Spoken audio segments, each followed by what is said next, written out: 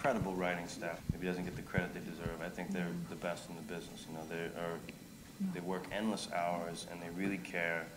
And on show night, we'll do the first pass of a scene, and if something didn't really pop great, they'll, they'll all huddle together and they really rack their brains and take as much time as it takes to come up mm-hmm. with something that scores better or that makes more sense or that's clearer or that drives the story better, or, you know what I mean?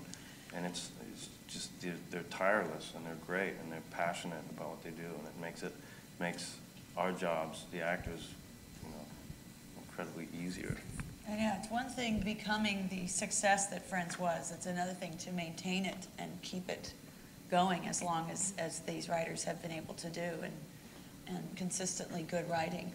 You know, they didn't get lazy and sort of sit back and go, oh, well, we're the biggest, hottest show on television and, and get sloppy. They've, they're, it just makes them work even harder.